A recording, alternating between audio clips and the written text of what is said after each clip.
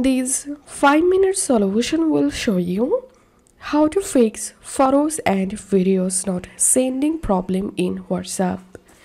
So if you're trying to send any photos and videos to anyone in your WhatsApp but you say your photos and videos not sending, don't worry.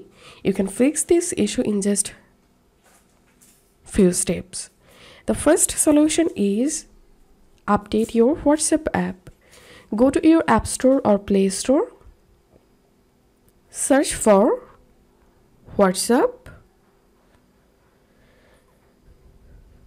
If you see any update available, update your WhatsApp app and then check the issue. And the second solution is offload the WhatsApp app or clear cache for WhatsApp.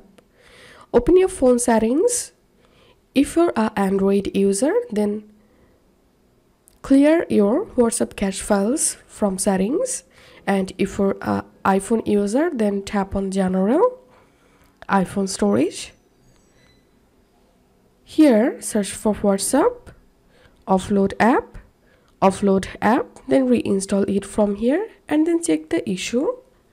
And if you're still facing the same issue, then follow this last and final solution.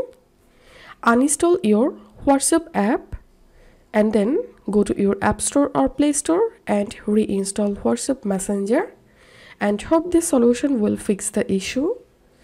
If you find this video helpful, don't forget to subscribe 5 minutes solution. See you in the next video.